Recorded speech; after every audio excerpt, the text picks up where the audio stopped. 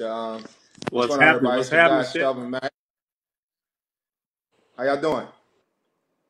Good, good. What's up? Man, What's up? we're uh, staying out of the way right about now. Uh, uh, oh yeah, yeah, nah. So letting everybody know, you know, these are my two two mentors, uh, Tony Delk and Mel Clemmons. You know, um, over this time, we're trying to figure out time to get together.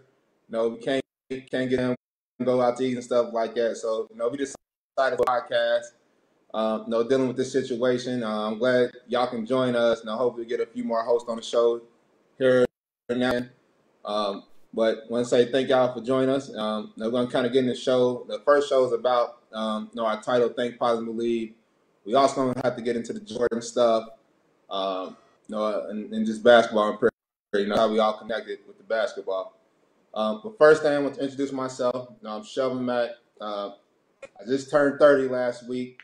I'm getting old. Dirty 30, dirty Sitting in the 30. house with this, Happy with this belated. Corona stuff. Um, yeah.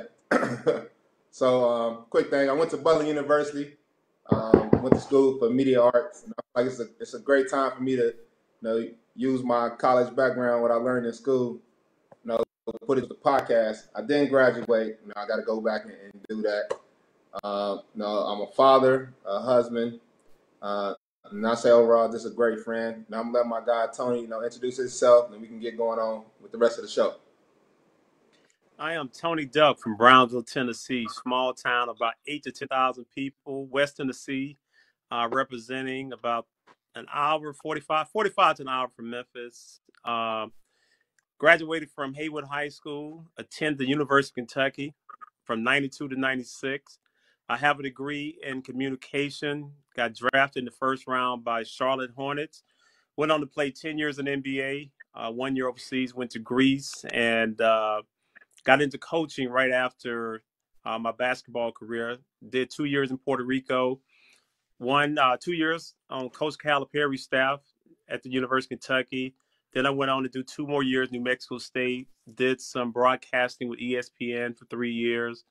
Uh, also, still doing um, a lot of media and a lot of uh, analyst work with uh, SEC Network, uh, SEC Radio, excuse me, and also Turner Studios. And also, I have the Basketball Academy going in uh, in Atlanta, and I want to thank Mel for connecting me with the right people. And uh, but it came through through Shell. So all of this, what we're doing, is all the connection that we have amongst each other.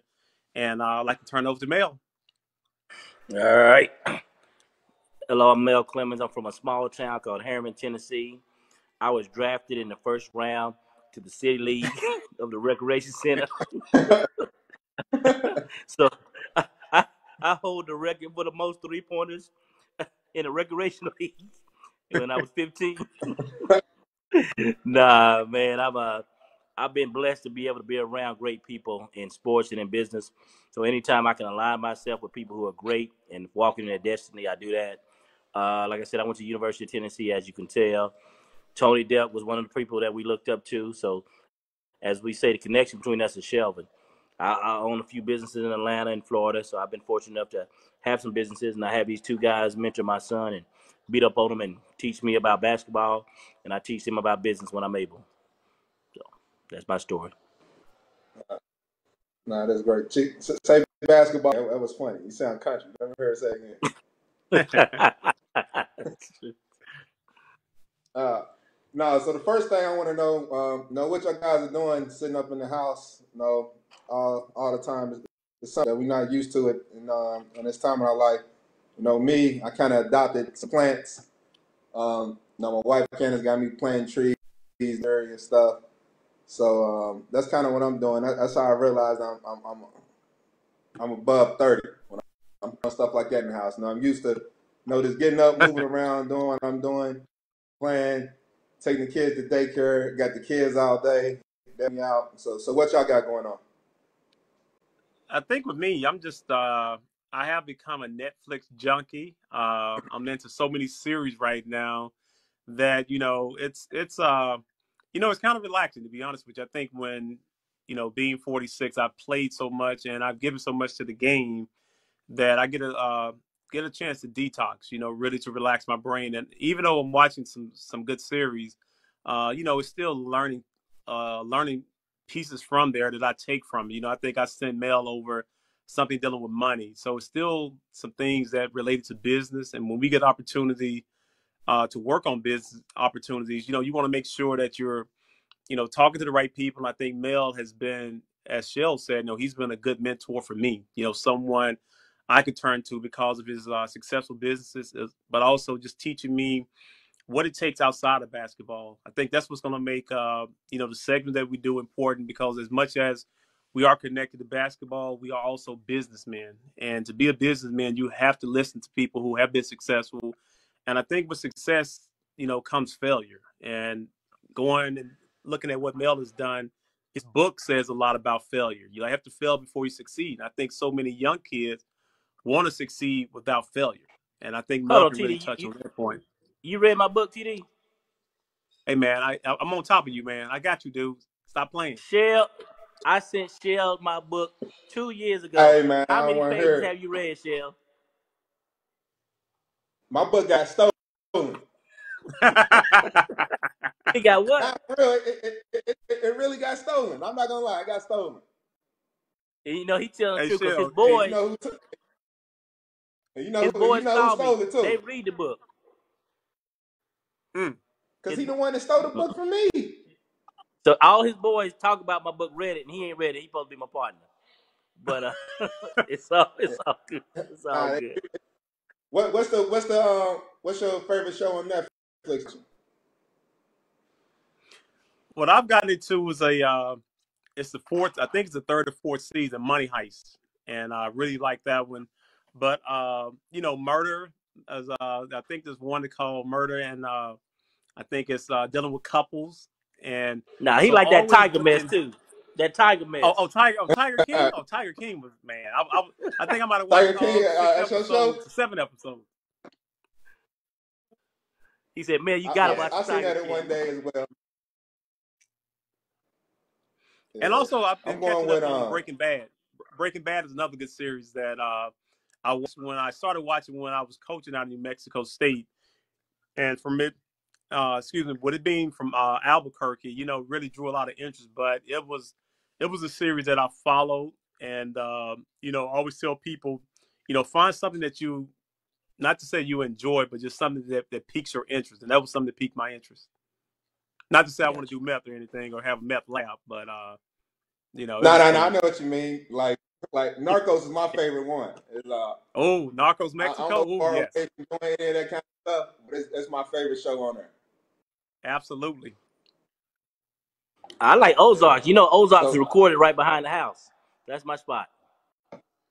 That's another good one. That is another good one that uh, I have enjoyed watching as well, and, and especially like I said, when when a series is good, you don't really you only get eight to ten really good episodes. You know, so when you start seeing a series that goes past that has 16, 17 episodes, they just putting some bad content out there. But when you can have eight to ten really good episodes and that's kind of like what Ozark and even uh, talking about Breaking Bad and I and that Shelby touched on. Narcos is really good. Like I was, what I love about Netflix, you can get so caught up in in a series, and before you know it, uh, you know you before you know it, you know you've been to watch five six episodes.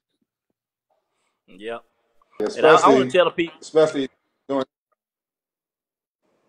Yeah, I also want to tell the people during this during, during this pandemic, like we we trying to find things to do. And if you saw the the web or the episode I did with me and my wife, we want to do something productive. So this is something that we're doing productive. We're gonna have fun with this. Tony gonna Chef gonna drop knowledge about basketball. I'm gonna drop some knowledge about business and networking. Because one thing I can tell you is that they say they look up to me. These two guys pour into my son every day, every other day, and I I don't pay them nothing. They don't pay me nothing. We do it to help each other and it's just because it's this networking, building relationships, and making a difference in people's lives. So this show is going to be about that, plus having fun, and plus about talking about some of the Netflix shows. I think some of the biggest things that I want to talk about is the connection. I think one of y'all brought it up is about uh the business. The one business we have in common is what TD that we all that we all invested in separately. Oh, definitely, definitely liquor. You know, it's it's funny I got into it, and and as you were talking, Mel and Shell, irons sharpen irons. I think as black men, you know, we really have to share information with one another. And, you know, as I tell my kids, all the information that I have is not valuable to me as far as playing anymore. So I do want to share that information with most of the kids and let them know what it takes to work ethic and just setting goals and trying to be successful. But back to what Mel was talking, um, you know, my Juan Lorenzo's, who my my lady Nicole Castorino helped me out with it. Uh, we started about two and a half, three years ago. Uh, made in um, do it out of uh, it's called Wildside Winery, and uh, we've been doing it for like I said, three years. Lorenzo's, I have three different wines: a Chardonnay, uh, a Cab, and a Riesling. And my Cab, what's so, what's so important about the Cab is the uh, popularity of bourbon in the state of Kentucky. So we aged our uh, Cabernet in Blanton bourbon barrel for over a year. So it has a little bit more of an alcohol content, but really good. So for those listeners, parents that is, who like to drink wine and Cabernet or Riesling or Chardonnay, go to wildsidewinery.com or tldelkenterprises.com. Bet, bet. Shell, tell them what, what we did. Me and you did. All right, man. I, I, I'll, I'll let you handle it. I'm, I'm a silent guy with Say that. what? Uh, He probably got one in his so I, cup. I That's don't know why he can't talk. about, man. I, uh, What'd you say? I hear me you. and my guy, man. Um, you know, we got together. We um, we was able to get involved with um a liquor company in Tennessee, where they from. Uh, that was the first African American, uh, first African American no liquor in the United States. It's, it's about a guy who taught Jack Daniel how to make whiskey. Uh, Uncle Nearest. You know, you're a big drinker with cigars and you know, whiskey. It's, it's your thing to do. um, I'll let Mel tell you a little bit more. I really don't, really don't like to kind of talk about that, but I'll let Mel. He, he know more of the details than I do for that. All right. So yeah, we were fortunate enough, based on Shelvin's relationship, to have an opportunity to invest in the guy who helped Jack Daniels uh, make liquor back in 1856. And there's uh the best way they said to honor the guy who taught Jack Daniels how to make whiskey was to give him his own bottle. So a lady out of California came up with a company, bought the rights to the story, and came up with uh, Uncle Nearest, and now he had the first African American distilled whiskey ever. Now we have African American investors like me and Shelvin and uh, Kenny Burns is involved, Jeffrey Wright, the actor, and it's what the fastest growing whiskey ever. So that's one thing that keeps us all connected. The other thing that keeps us connected is basketball. So I want to get to some basketball talk because I pick these guys all the time. Keep- Pick their brain. All The funniest thing I heard all about right. We, basketball. Go ahead. oh yeah. Now we'll get right in this. We're gonna take a little quick commercial break. Come right back. Uh, no, we got a lot of lot of basketball to talk about, especially you know with the documentary going, the Last Dance with Jordan. You know, a lot of people say it's the greatest. All, you know, we have debates and arguments about about that all the time. Have my opinion. You have your opinion. Uh, no, we're gonna get right back to it right after this commercial break.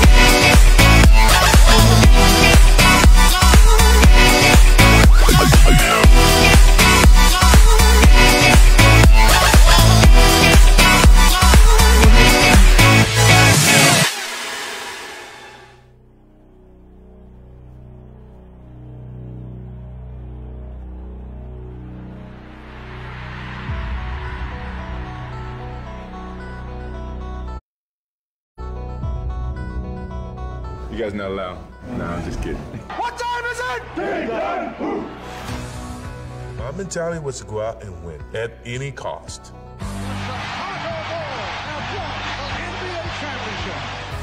Jordan is the most talented player in the NBA by far. The show of the 90s, the team of the 90s. How you doing? Whenever they speak Michael Jordan, they should speak Scottie Pippen. We created an image that people want to live up to. I think that's all you can hope for.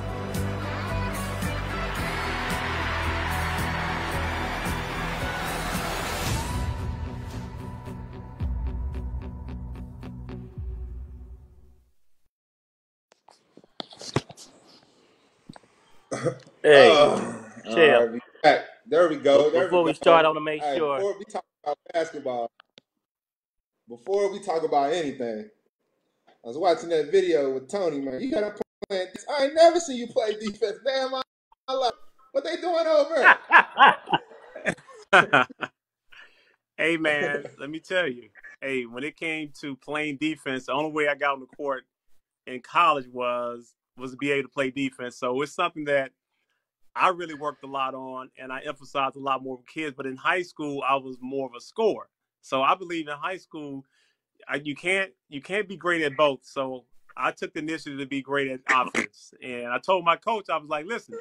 You know what I said? My offense is my defense. I said, you want me to play defense when we play offense? So I chose to play offense, but it flip flopped when I got to college. And I think playing for Coach Pitino allowed me to have a NBA career because he taught me how to play both sides of the ball.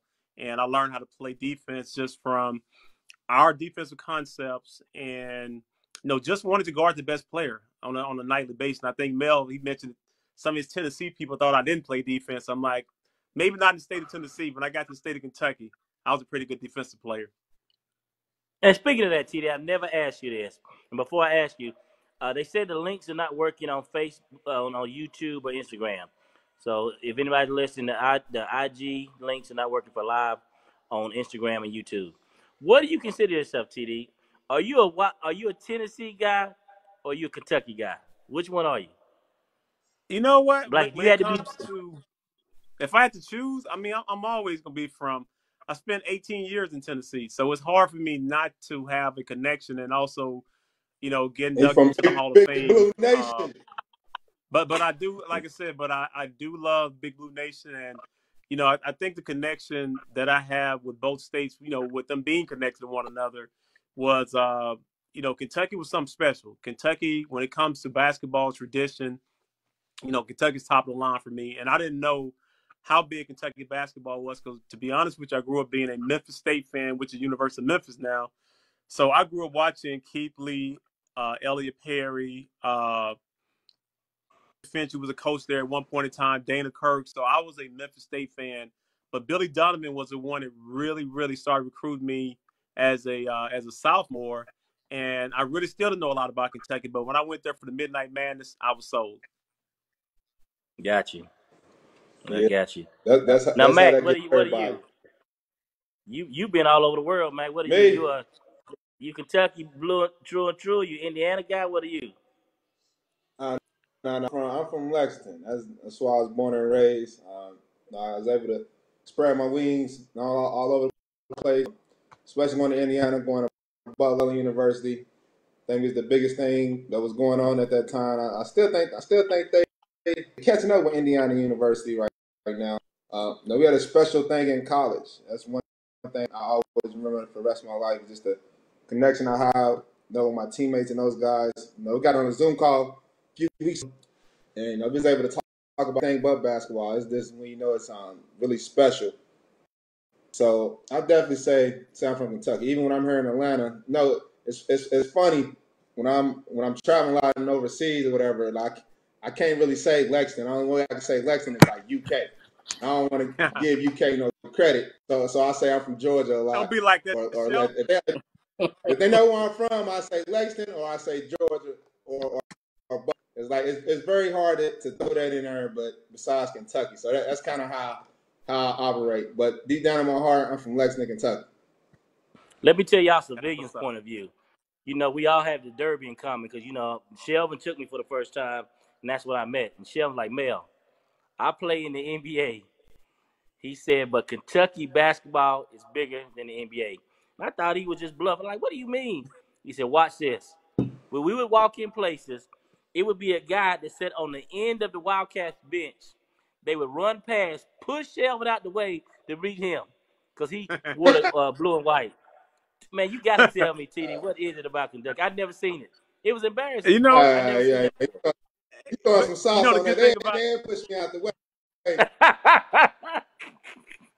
they nudged No, me I, though. I, They I think me. Shel, I, I think Shelvin knows. Shelvin kind of knows the, the history of uh, of Kentucky basketball, and, and it's funny too because you know with me growing up being you know a fan of Memphis State, I really never never really looked at Kentucky like Memphis State rivalry at the time was uh was Louisville, so I didn't like Louisville, and it was funny when Billy Donovan started recruiting me, and he started talking about Kentucky. I didn't know about the championships, but the year that I was a senior was the uh, was when I really kind of became a fan after going there and uh, you know going to the Midnight Madness. But when Sean Woods hit that shot against Duke, and then Christian Laettner came back and hit the shot to win, and I just saw how the how the vast of the people were in Kentucky, and they was like, man, when you come to Kentucky, you got to help us win this championship. And I'm thinking to myself, like, man, this is a lot of pressure on me. But when I once, but once I got there, I got a chance to meet like, you know, Kenny Walker, Kyle Macy, uh, Rex Chapman.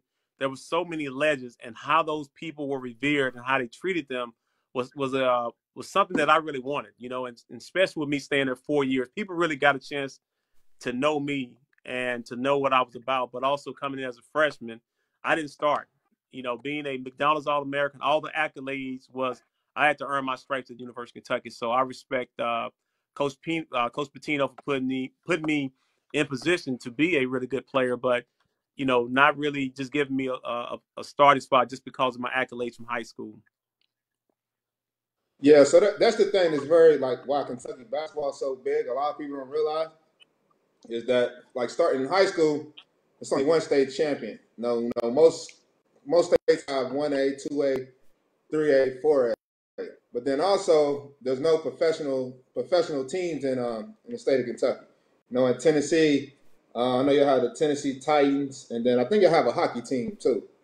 So uh, no, in, in Kentucky you just have UK basketball and University of Louisville basketball. That, you know, Western, Murray, Morehead. You know, they do they they do their thing here. This is just a basketball basketball overall state.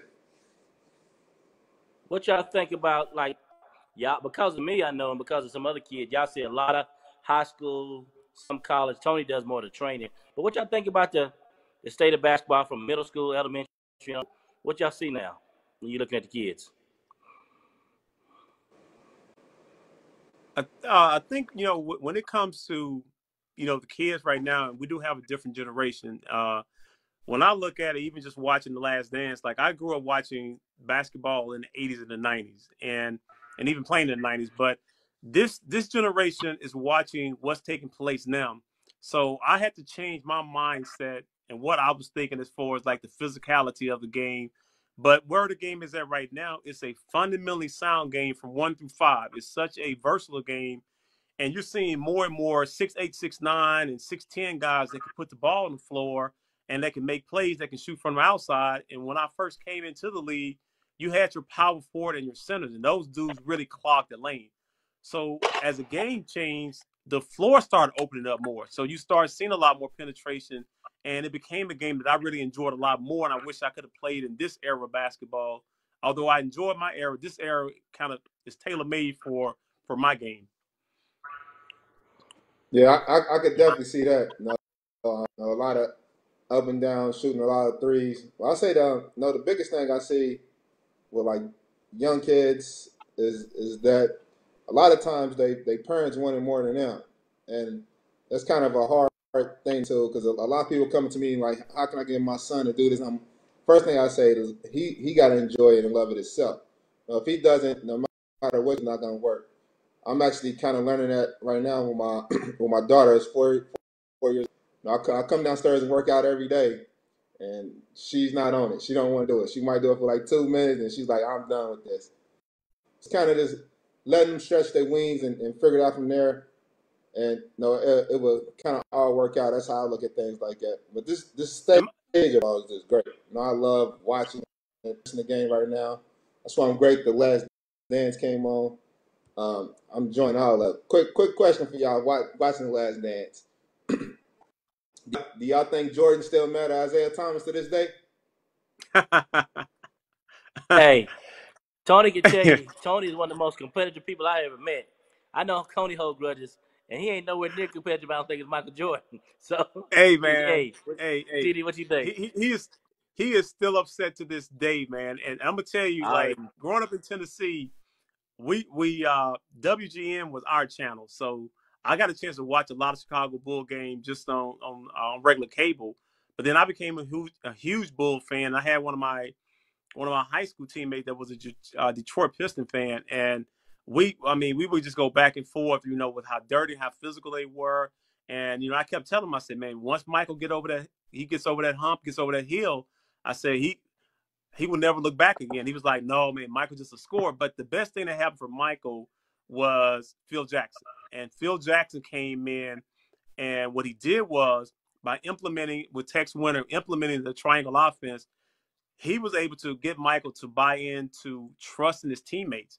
And I think any team that wins that's going to win a championship, and Shell, you can speak on this, you know, just being on those Butler team that went to the uh, national championship game is collectively you got to have more than one person. And I think Michael was when he first came in the league, he was such a dominant scorer, but he didn't trust his teammates. So when Phil came in, and of course, like he said, you know, he really didn't like Phil. Doug was this guy because Doug kept the ball in his hand.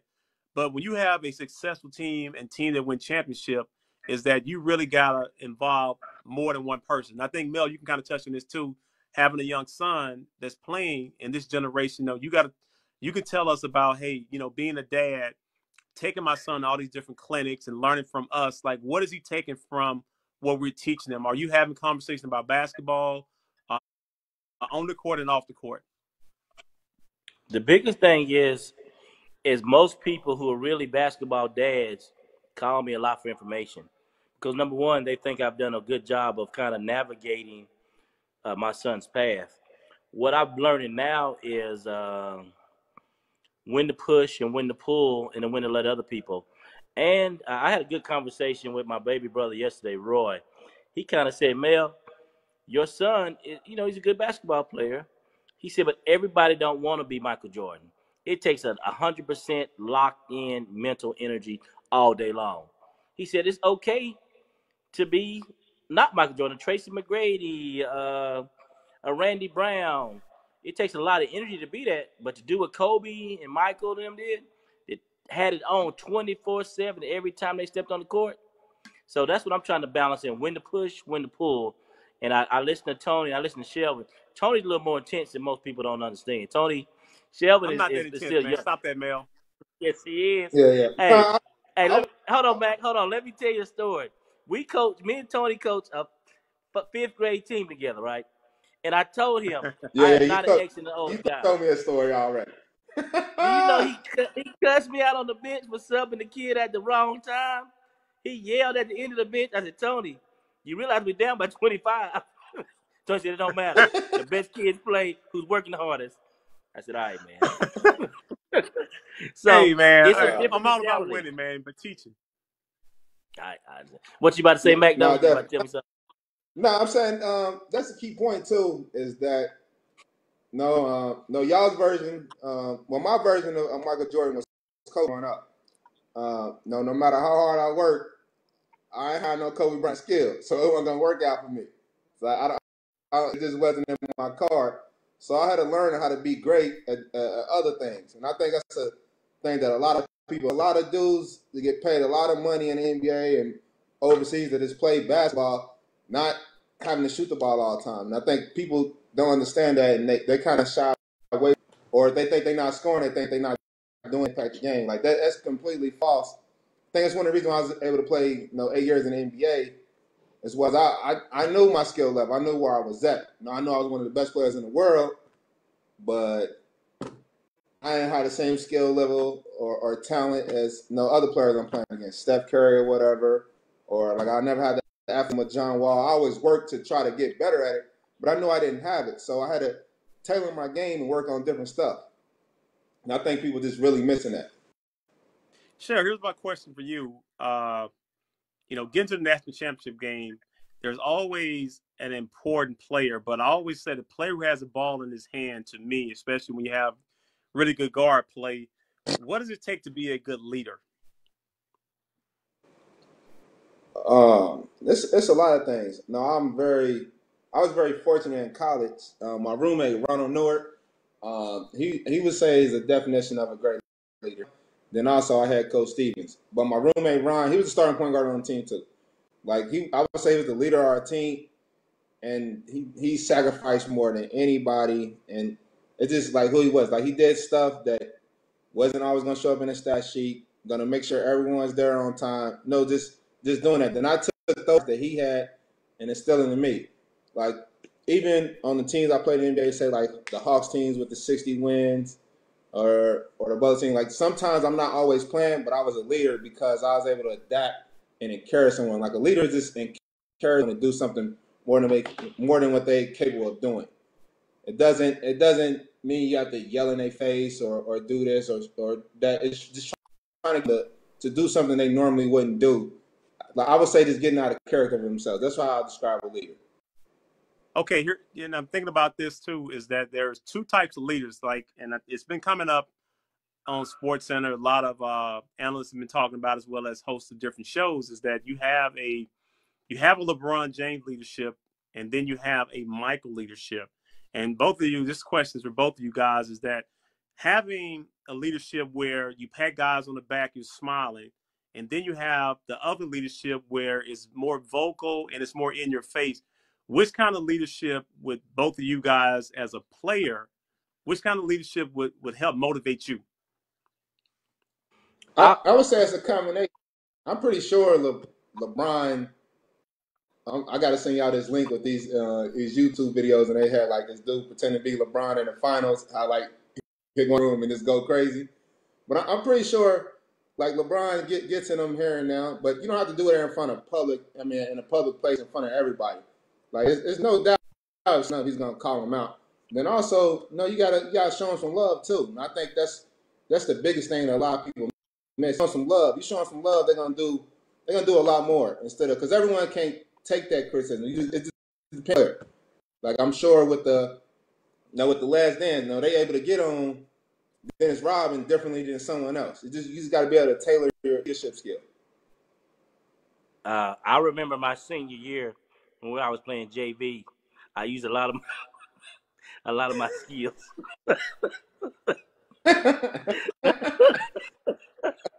let, let me be serious. Uh, in business, leadership is crucial, man. And people look at me from the outside and don't realize what it takes to build businesses and generate these relationships. How uh, my my style of leadership is I lead by, by example. If I ask any of my people to do something, I'm doing the same thing. When I if you meet any of my people that work uh, with me, I don't say these people work for me. It's all about the mentality. I say these are my co-workers. We work together. It could be the guy who's a janitor at a building I ain't never seen. It could be a guy at my restaurant who just started yesterday. I can say we work together. It's a different mentality of how to lead and the way people you communicate.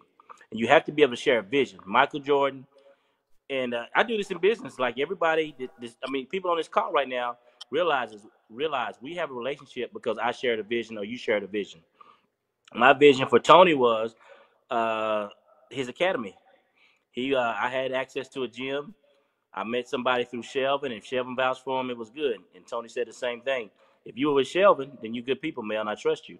So we decided, to, you know, to do the academy. He started getting the gym, and we started building on it. We started out with what we had two teams, Tony. We were just doing two teams in fifth grade. Two teams. Two teams. Yep. Two teams. Now we, I don't know how many people we have, but we have a lot. Now we implementing. Uh, now we getting a shooting machine. We're looking at Vertimaxes. We're looking at physical conditioning. But we had to have a vision, and luckily God blessed me with an opportunity that I can articulate my vision, and nobody feels like when I'm doing business or when we do business I'm trying to get over, or they're trying to get over. We're working towards a common goal. I think Michael, and I think Shelv, and I think Tony, when y'all were leading teams, you were able to share the vision and y'all all work towards a common goal. True. Yeah, so I had a question. With, I, had, I had a question with leadership. So it's a like when you talk about these people, the people that run business or like the the um, captain of the team. A, a, lot of times people don't ask like, what what would be the most uh, difficult thing that you had to learn as leader? I, y'all tell me this. I think the hardest part when you playing basketball in business is, knowing you're not number one. I'm a competitive person. Like y'all are honest. Tony's competitive. Shell was real competitive. But to sit in a room with somebody, like they were talking about Horace Grant. You see the next episode, they're talking about Horace. It ate him up that he wasn't number one. I'm the same way. If I'm in a room with other business people in my lane, I'm the alpha. And if I'm not the alpha, I'm un- uncomfortable. But on the sports team, like LeBron says, and you all say, you got to know your role. And I got to teach my kids that. Tell me how y'all handle it, because Tony, Tony is probably one of the most aggressive. I keep saying this. People that I've seen around as far as alpha. So how did you handle it, Tony, when you got on the team and you were not the alpha? You know what? I, I think you know my first year at Kentucky was a struggle because when you go back to what I did in high school, you know, being the leading scorer in the state for two years, you know, McDonald's All American, uh, Tennessee Player of the Year. Like I had so many accolades. So it was hard for me my first year knowing that I wasn't the ball wasn't gonna go through me. Like like the offense doesn't go through Tony Delk. For two two and a half years, even AAU, the, the, the offense went through me. So the offense went through Jamal Mashburn, and it was a major adjustment for me. You know, just to see somebody else get get the shots and everybody, you know, talking to that person and uh, the offense going through him. And uh, so it really taught me how to be a role player in order to get on the court. So which gave me a a nice NBA career because I understood my role. Everybody is not going to be the star. It just depends on what player is there before you get there. There are going to be some players that are, are better than you, and you have to accept that. So when I got to Kentucky, as good as I was, Mashburn was the best player on our team.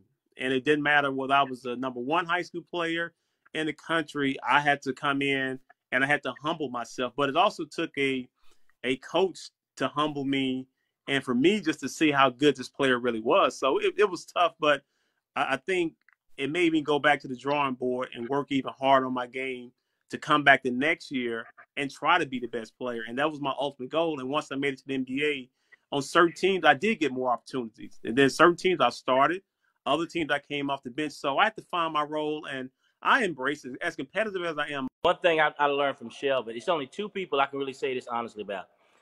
Uh, my baby boy and Shelvin, are they are the most comfortable in their own skin. I've learned that about Shell and I learned that about my baby boy.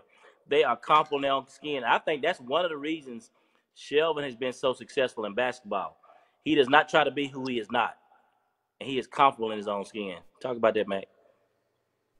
Yeah, no, I, um, I've learned over time it's a business. You know, it took a while to get there. Um, and, and you know, you, you can make a lot of money doing this. And I had to understand that, and I didn't want to mess it up because I've seen other ways that people are better than the people playing in front of them, and they would just mess the whole army up. So, like me, I never looked at it like basketball was that. But then also, I just had a self confidence. You know, I know what I'm capable of and what I can do. I feel like when you're not confident, you're not prepared. I think I walk in every you know business meeting, basketball game prepared. So I always feel confident. I don't have to worry about something else. Like when I can't be myself is when I'm not prepared or do things that can, can make me comfortable. And I try to do my you know research or do the stuff beforehand so I can make sure I'm in a comfortable zone at all times.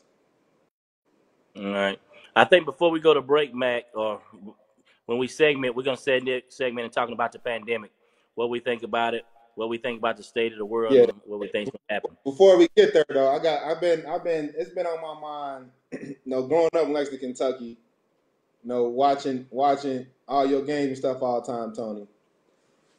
Man, why did you choose double zero? Where did this come from? I ain't never asked you this question. Hey. That's like the ugliest number I could think of. Hey, you know what? It, it's funny you said it. You know, talking about books, I have a book that, that uh, came out about three years ago called "The Story Behind the Double Zeros." And when I came down, I was a a uh, a sophomore in high school, and I came down to Atlanta. And my oldest, one of my older brothers, was uh, really good. He was NAIA All American at Lambuth College in Jackson, Tennessee. So I came down, spent the summer with him, and when I left, I asked my brother, I said, you know, if I beat you, I win a game. I said, I'm gonna represent you by wearing your number. So his number in college that is retired right now was double zero. So actually, double zero wasn't my number my sophomore year. I wore I wore double zero my junior senior of high school, and then of course all throughout college. And my first five years in NBA, I had double zero. So it really came from my brother who was a mentor, and I had my brother Rick and my brother David and my brother Leslie were older. So I really grew up having brother, older brothers as mentors, and them dudes to this day, I mean, they mean so much to me because you know, by me being a little brother, they spent so much time with me, and they taught me the game of basketball. So it was to honor my brother Ricky, and I know it was, it was a funky number that most most most big men had, but hey, I wore the double zero well. And, and before we go to right. go to break, Mac, All right, well, we about to uh, no have a commercial break. We'll be back soon. uh, hey, um, before we go to break, I want to find out who the best shooter is between you two. We'll answer that when we get back. You'll find out one day.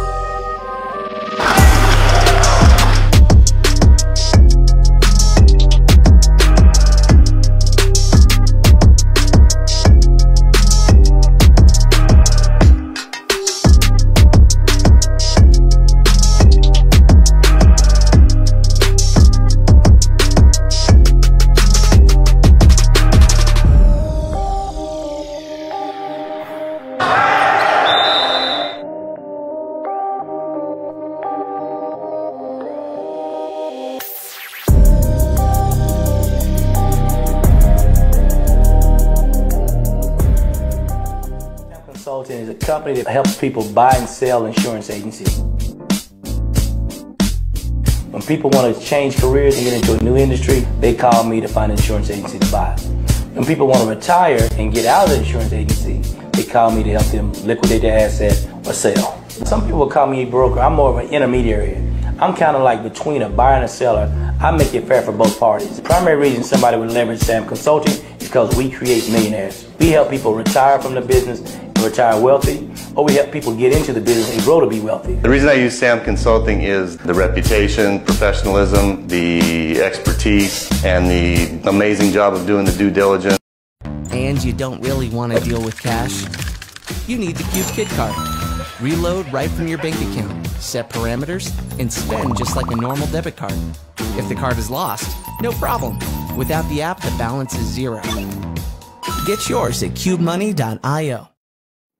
Are you suffering from fear and anxiety? The Allen Counseling Clinic is here to help. Our goal is to help you grow from your struggles, heal from your pain, overcome your fears, and get the relief from your anxiety. Call now, area code 424-295-6227. Telehealth is now available.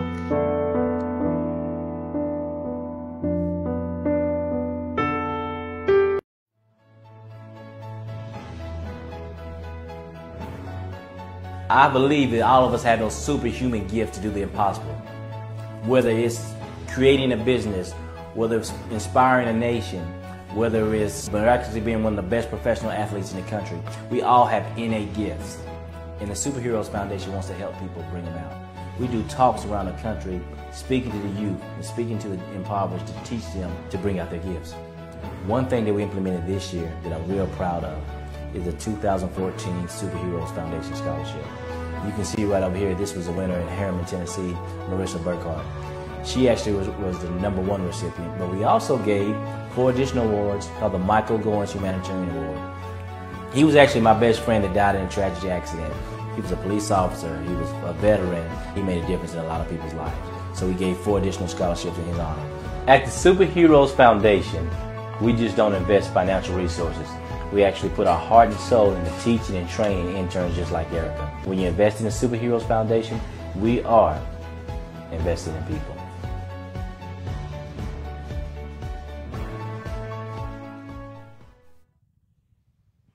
Man, I got to get in the weight room, TD. You see them old pictures? I see, man. hey, hey, hey, you know what? At, Tennessee, at, at that University of Tennessee, our education paying off, man. Amen, amen. so, Mac, what's next? What you Hey got, Mac? man, uh, fir- we we can't just disregard with the commercial, bro. You gonna totally dis- disrespect me like like like he can shoot with me? Is that how we doing this right here? Hey, man. When, when it, Hey, hey, hey, Shell, when, when you when you think about shooting, man, I, I done shot with the greatest. Glen Rice, Dell Curry. I shot with the best ever, man. So when you talk about shooting, until you get to that level and compete and shoot with those guys, ain't really shooting, man. Right, I, I never, I, I I never, I'm, I never made a, uh, an NBA three point contest and none of that. But I, I shot with some greats in my time. You know, I think Yeah. Mel, did, did he play college basketball the way I played college basketball? who? Uh, TD? Yeah, he played college Tony? basketball, didn't he? Who? Tony? Did, can you hear me? Oh, we can hear you, man. I can hear you So, loud uh, what was the question? Mac, what was the question? I didn't hear you. Say it I again. said, I said, I said, did TD play college basketball? Yes, he did. I played college basketball too, right? Yeah, they, they did come out with a list recently, though. I, he trying to set you up, That's TD. hey, that's that's, that's Hey, all hey, hey, I'm but, saying. but, I don't know what but he tell him got about this. going Tell him, hey, tell him about this list though. This list right here. Hey, I'm number one in, at the University of Kentucky in three pointers made. Don't forget that. So, Man, Mac, tell what list you talking need, I about? need, Uh, I, I'm I'm talking about the, the game. We ain't talking about this one little college you worried about. We talking about all the colleges together. That's what we talking about. All, all the colleges together. Oh, like, hey, like, like, like I told you though. But you know what? I, I, I made it to that championship game and I knocked down seven of them things. So you know what? Until you get to the champ, say that. hey, hey, you know what? Matter, matter of fact, championship game, I tied the record with a guy by the name of Steve Alford. So we both made seven, seven threes in the championship games. Are, are we still talking about trades? Yeah, Uh-oh. yeah. Talking about uh, all time in NCAA. I I know your your team was great, man. How many NBA players y'all have on y'all's team? We, we, we had a What few, man. We had, you got to understand. I had to share the ball What with Antoine Walker, Derek Nah, nah, Anderson, Ron Mercer, nah, man. Walter McCarty. Man, Hey, man, them dudes were shooting Yeah, they was too. double teaming everybody else, and you was wide open. That's what happened. so let, let me let me try to clear the air. Let me clear the air. They did come out with a they did come out a list, with a list, Mac. Y'all both in the top five uh, for three pointers made. In uh, was it the playoffs or for that year? For a year? It was uh o- o- No, over the it's it's tournament, the for the whole NCAA tournament. over the Yeah. tournament. So y'all y'all both in the top five. What I can say, what Well, you I know, observed well, a, studying. a- a few years ago, I think I, I was number two behind maybe uh, Bobby Y'all told me Hurley that. and some guys. And, and some guys, you know what? But you know this, Mel. You're, you're a little bit older than Shell. You know, he just turned 30, so he don't know all this, right? He don't have all this, this valuable information that we have in our head right now.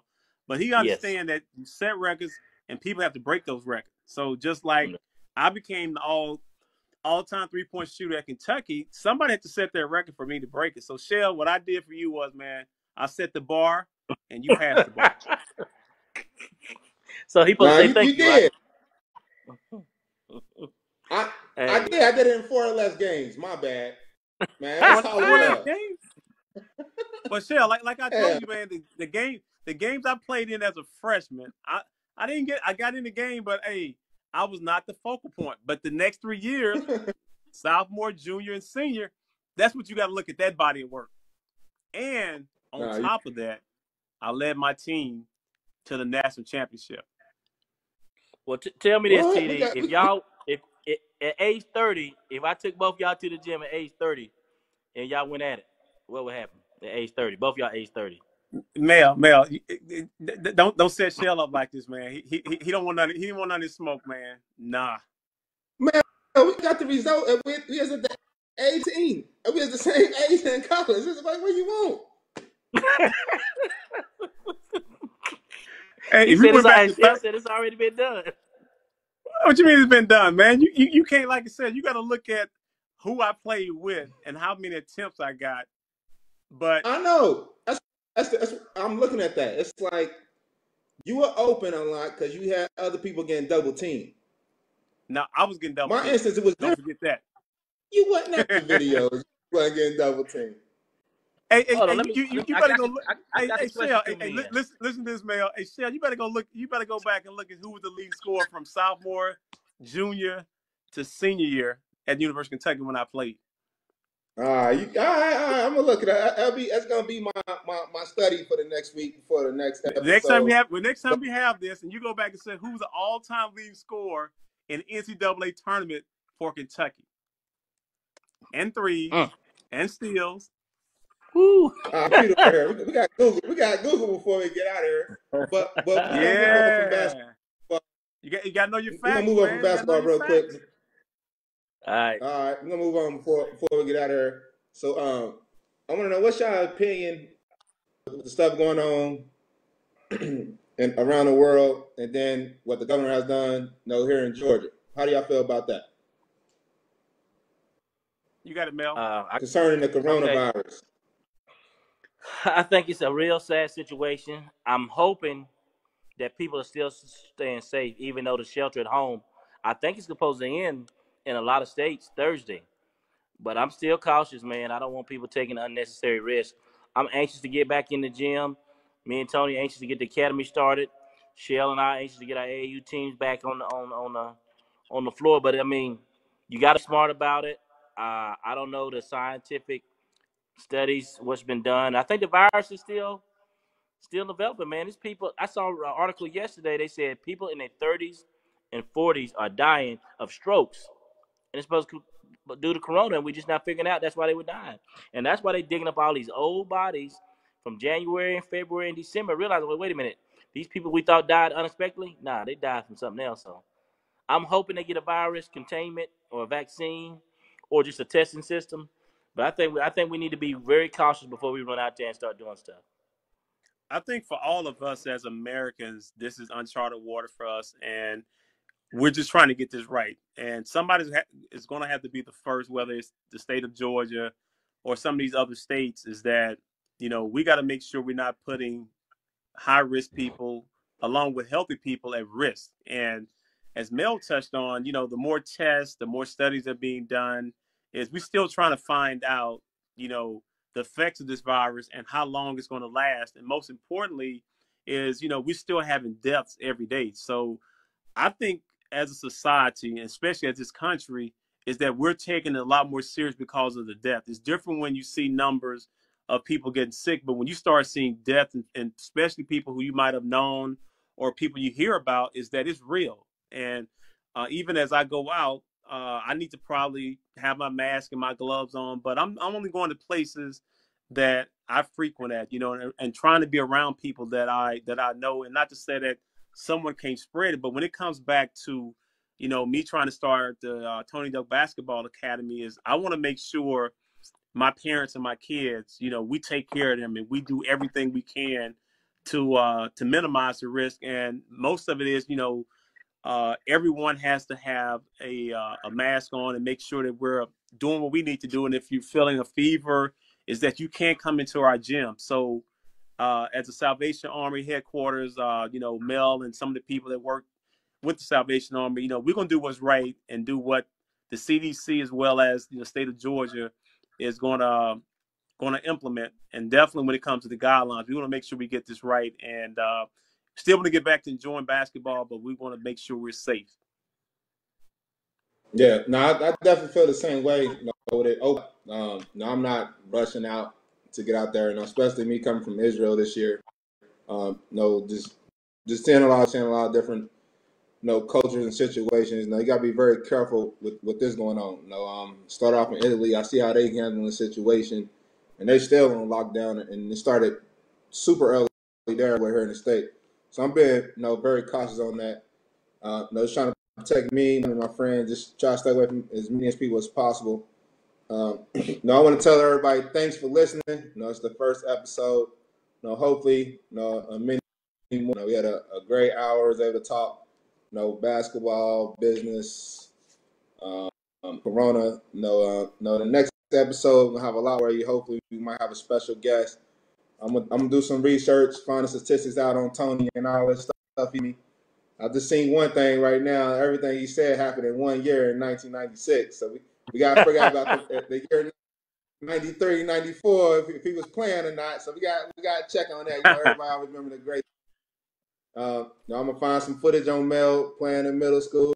I'm, I'm gonna find it. That's that's gonna be my job. I'm gonna say thanks for everybody for listening. You know, this is me, Shelvin Mack, it's Tony Delk, and Mel Clemmons. Appreciate you. Appreciate y'all. Yep. No, think positive and believe. Amen. See y'all later. Amen. Out. Yep. We're out. Kid old enough for money but too young to deal with a checking account? Oh, and you don't really want to deal with cash? You need the Cube Kid Card. Reload right from your bank account, set parameters, and spend just like a normal debit card. If the card is lost, no problem. Without the app, the balance is zero. Get yours at cubemoney.io. Are you suffering from fear and anxiety? The Allen Counseling Clinic is here to help. Our goal is to help you grow from your struggles, heal from your pain, overcome your fears, and get the relief from your anxiety. Call now, area code 424-295-6227. Telehealth is now available.